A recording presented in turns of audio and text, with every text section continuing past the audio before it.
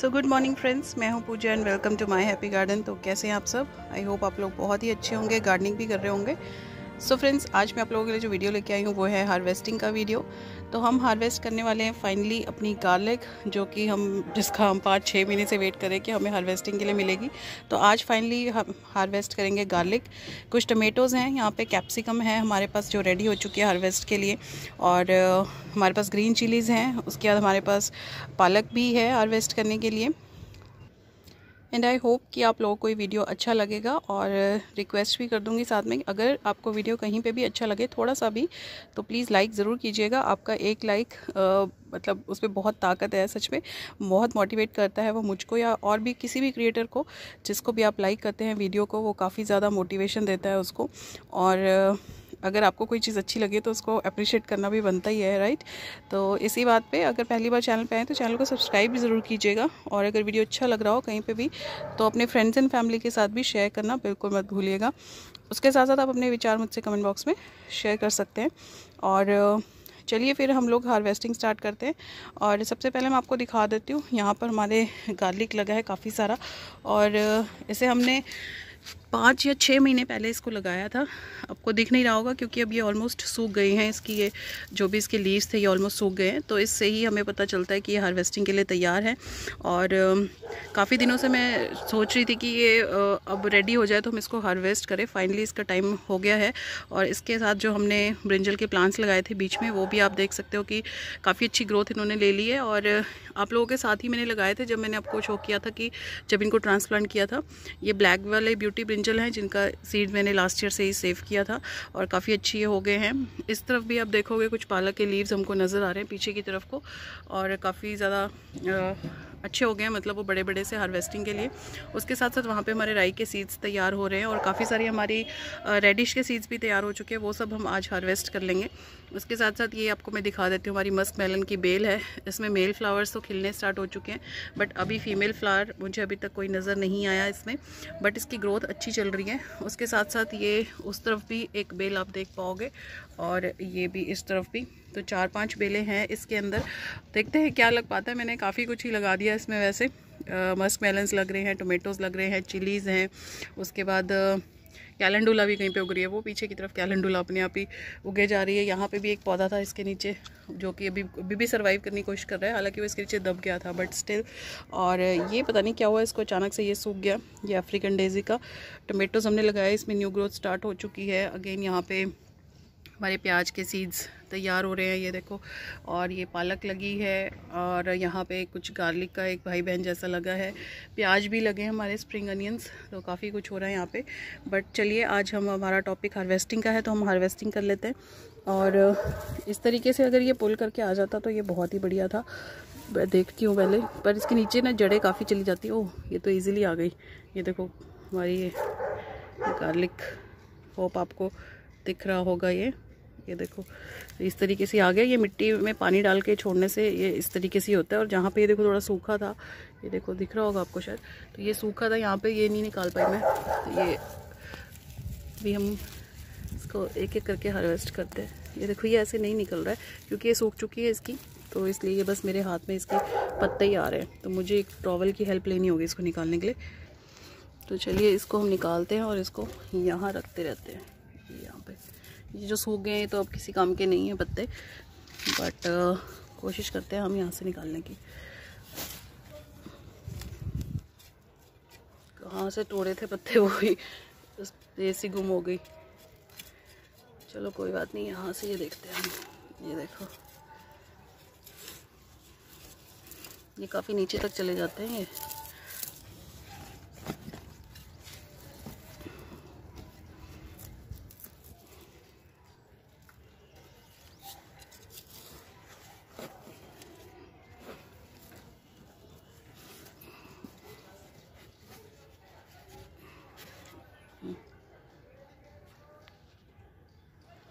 तरफ़ तो कुछ ज़्यादा मुझे देखने को नहीं मिल रहा है। तो चलिए, इस तरफ़ देखते हैं।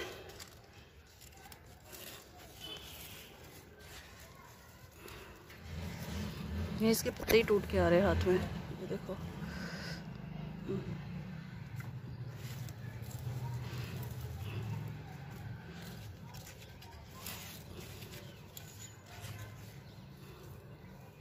अरे इसमें ज़्यादा कुछ भी नहीं मिल रहा है हमको तो।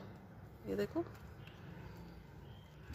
मैंने तो सोचा था काफ़ी अच्छा निकलेगा, इससे अच्छा तो मैंने लास्ट टाइम अपना निकाल लिया था गार्लिक उसकी पिक मैं आपसे शेयर करूँगी जो लास्ट ईयर मैंने लगाया था। ये देखो, यहाँ पे थोड़ी सी बड़ी क्लोव दिखी है हमको। ये देखो। ये सी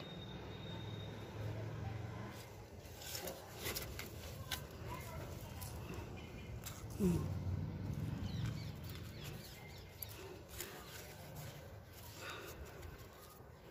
एक्चुअली हमने इसमें बहुत ज़्यादा कुछ किया भी नहीं। जब हम एक बार लगा दिया हमने इसको, उसके बाद हमने बहुत ज़्यादा इसमें कुछ ऐड भी नहीं किया। बस लगा के भूल गए। और आपको इसको टाइम टू टाइम फर्टिलाइज़ करना पड़ता है चीज़ों को, तभी आपको अच्छे रिज़ल्ट देखने को मिलते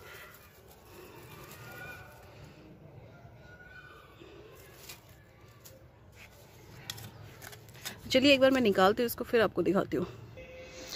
So as you can see this is all the garlic we have got बहुत अच्छे रिजल्ट्स नहीं है but I am happy with this अपने किचन गार्डन में लगाया हुआ जो कुछ भी मिलता है हमको, उसमें जो खुशी होती है ना, वो अनमैचेबल होती है अनबीटेबल होती है।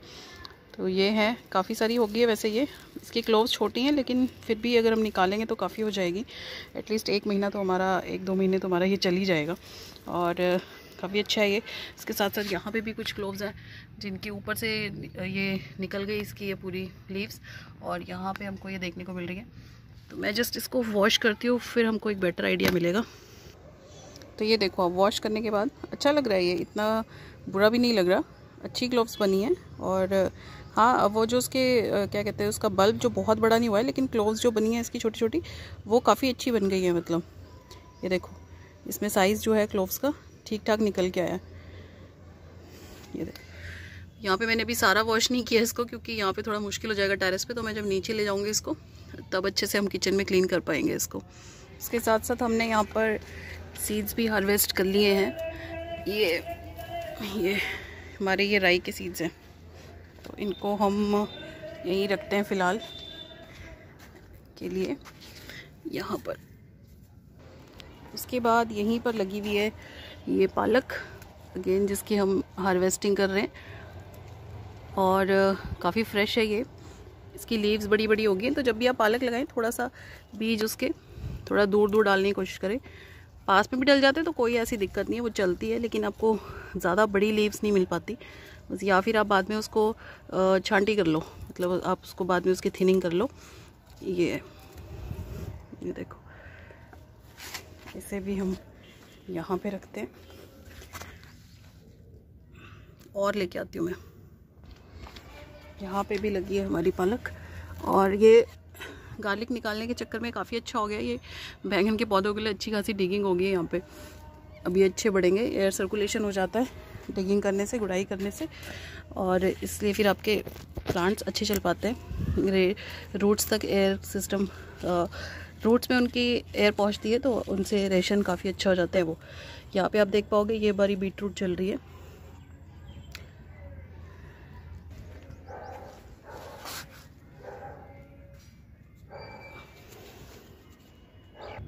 उसके साथ साथ ये देखो आप, हमारी होली होक के और भी फ्लावर्स खिल गए अच्छे लग रहे हैं। काफ़ी सारे एक साथ खिले हुए और मीली बग्स तो यहाँ से हटने का नाम ही नहीं ले रही है। इनको बहुत अच्छी जगह मिल गई है यहाँ बर्ड्स में छुपने की।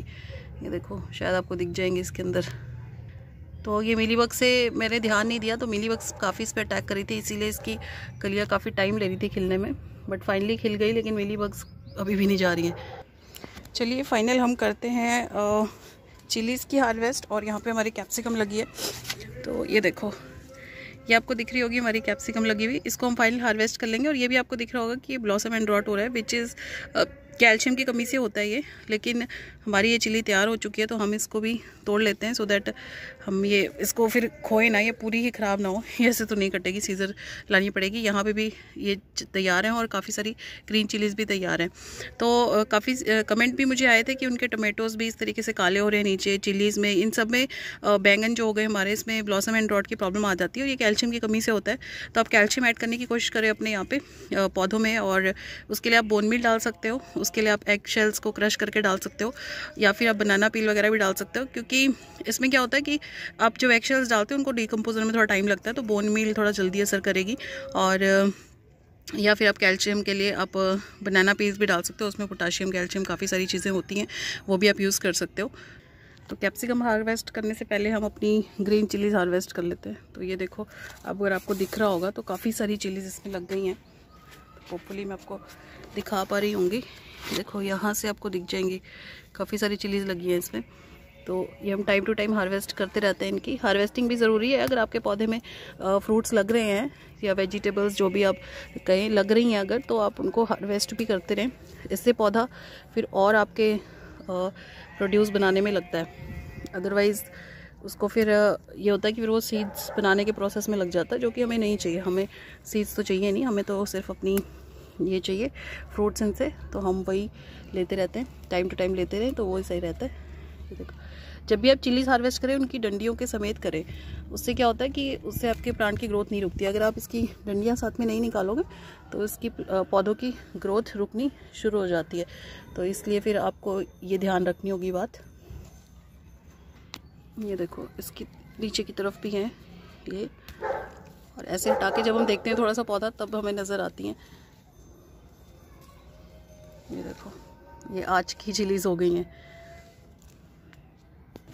चलिए हम इन्हें लेकर चलते हैं और इन्हें हम यहाँ रखते हैं और अपनी कैप्सिकम लेके आते हैं। इसके लिए हमें चाहिए होगी सीज़र। तो हम इससे सीज़र से इसको कट करेंगे। काफ़ी सारे वो थे इसमें फूल। वो आप देखोगे कि काफ़ी तो झड़ गए हैं क्योंकि वो मिली बग्स इसमें भी अटैक कर रही हैं। मिली बग्स और वो क्या कहते हैं हाँ मिली बग्स ही लग रही है बेसिकली तो इसमें। यहाँ सब जगह थोड़ी थोड़ी थोड़ी थोड़ी मिली बग्स लग रही हैं और यहाँ पे भी ये मिली बग्स ने ख़राब कर दिया इसको। तो हम इसको हार्वेस्ट कर लेते हैं। पहले इसमें थोड़ा सा कल वायरस आया जिसकी वजह से इसकी आ, पहले थोड़े से फूल पहले चढ़ गए और फिर स्पाइडर माइट्स भी लग रही हैं इसमें। एक स्पाइडर अभी कूद के मेरे ऊपर आ गई थी। ये कहाँ चली गई हमारी चली? ये रही। अरे ये आने को ही तैयार नहीं है। इसके बाद ये वाली इससे पहले कि ये भी ख़राब हो जाए।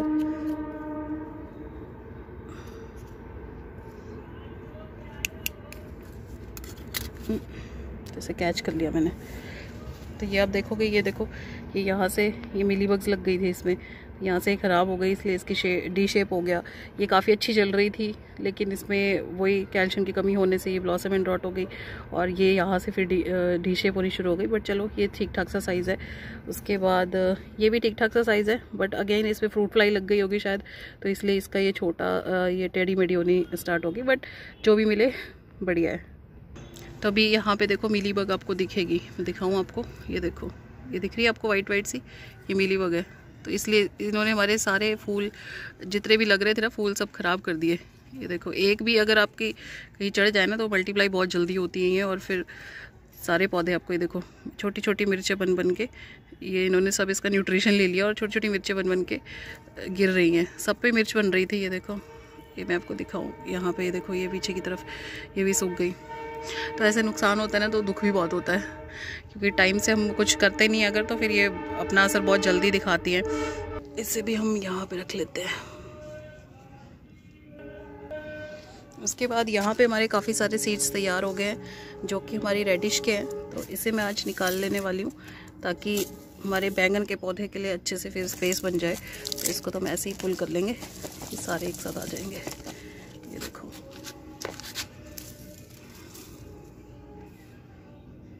उसके बाद यहाँ लगे हुए हमारे टोमेटोज़ ये देखो, नीचे की तरफ़ को ये रेड होने लगे। तो इनको हम निकाल लेते।